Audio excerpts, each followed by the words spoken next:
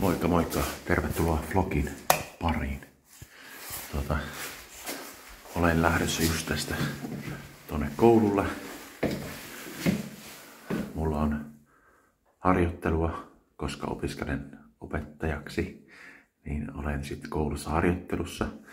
Ja nyt eilen oli viimeinen harjoituskerta lukiolaisten kanssa.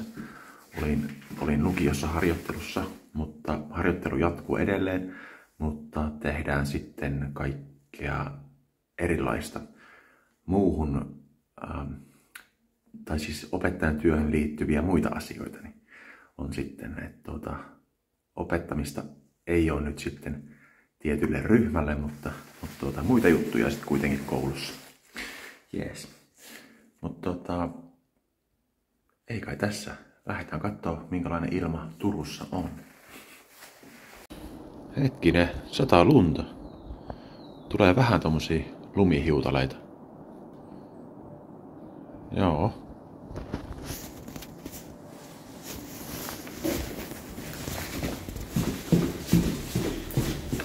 Ja edelleen tossa on toi sukka. Jollakin vlogilla mä taisin mainita ton saman sukan. En tiedä. Omistaja ei ole löytänyt sukkaansa. Voi pientä sukkaa. Joo, katsokaa. Kyllä täällä sataa lunta.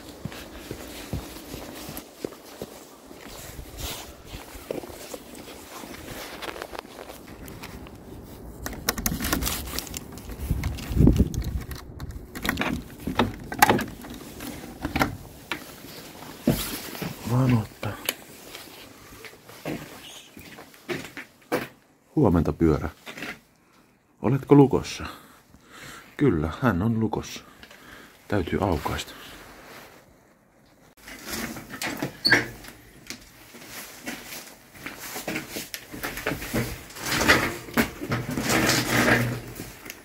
Okei, perutetaan pyörävarastosta pois. Tää on tällä hieman hankalaa, mutta eiköhän se tästä.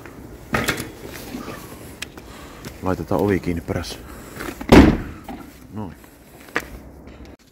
Joo, kyllä sitä lunta on nyt tullut. Lunta tullut vaikka kuinka paljon. Mä oon lähdössä tästä tuota linja-autolla tai fölillä, fölillä linja-autoasemalle. Ja, ja sit sieltä lähden tuota perheeni luokse. Joo. Tämä viikko oli vähän lyhempi. Lyhempi viikko. Turussa nyt sitten. Siinä on, kattokaa. Olisiko tullut joku 15 senttiä lunta. Aika muista. Okei, sit mä tulin tuonne Turun linja-autoasemalle ja otin sitä croissantia ja kahvi itselleni. Ja sit siellä nurkassa oli tämmönen polkupyöräkioski. Eli tosta voi niinku ostaa polkupyörätarvikkeita. Ja lunta oli tosiaan tullut ja aurinko kuitenkin paistoi, oli ihan mukavaa.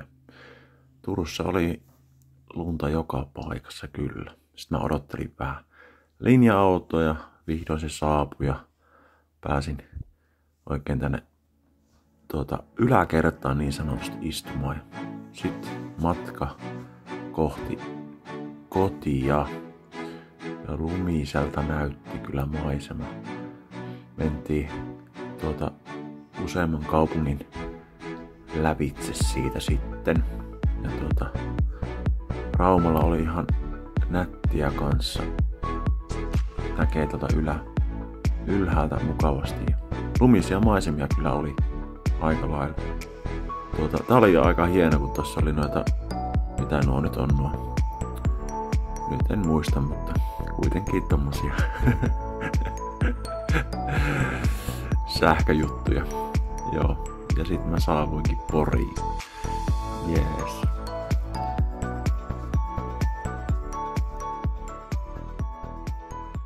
No niin, olin tota tuossa aamun tekemässä lumitöitä. Ja vielä vielä olisi tossa jonkun verran lunta pihassa, mutta ton toisen puolen pihasta sen kävin kolaamassa. Tein lumityöt siellä, mutta tähän tein vaan tämmöisen polun. Polun sitten, mikä menee tonne tielle. Joo. Voi olla, että nämä lumeet sulaa vielä sitten. Maanantaiksi on luvattu. Luvattu tuota, että viisi astetta lämmintä vai. Mut nyt tätä lunta on kyllä tullut varmaan, varmaan parikymmentä senttiä.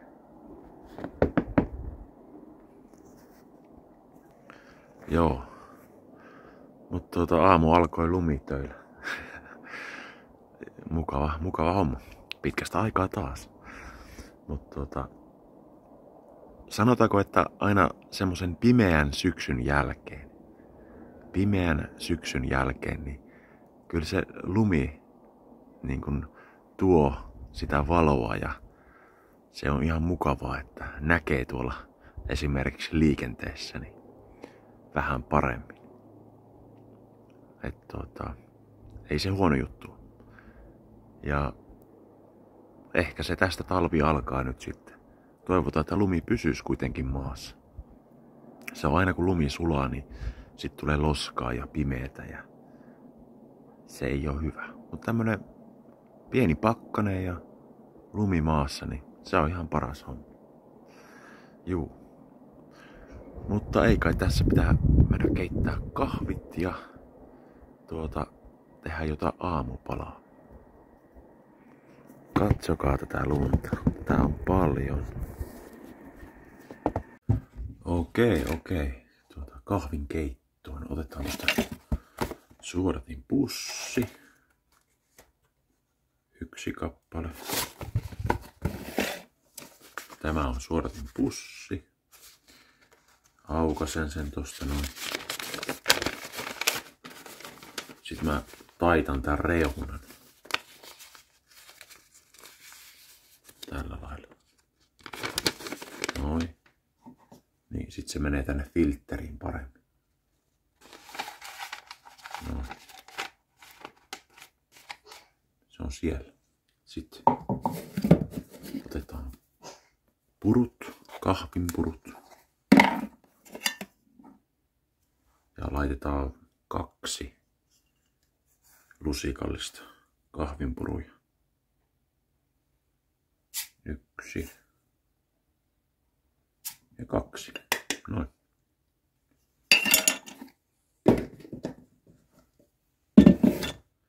Eli nyt siellä on kahvinpuruja suodatinpussissa ja suodatinpussi on tässä filterissä. Joo. Veden mä laitoinkin tonne jo valmiiksi tonne kahvinkeittimeen. Sitten vaan pistetään päälle kahvinkeitin. Ah, ei oo töpseli. Töpseli seinässä. Laitetaan töpseli. No, hyvä. Nyt se on pää.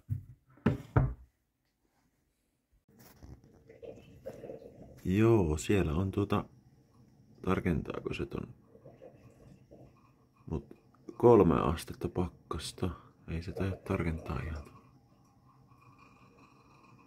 Näkyykö se? Nyt se ehkä tarkentaa. Ei. No, kolme astetta. Kolme astetta pakkasta. Juu. Mut hei, tämmönen vlogi. Kiitos kun olit mukana. Tuota, ja pistä kanava tilaukseen ja voit liittyä kanavalle ja paina kiitosnappia ja tukea ja tuota, semmoista. Toivottavasti opit jotain taas. Joo, ja mä oon Jarno ja tää on Easy Finish kanava. Seuraava video. Moi moi! Hyvää kahvia!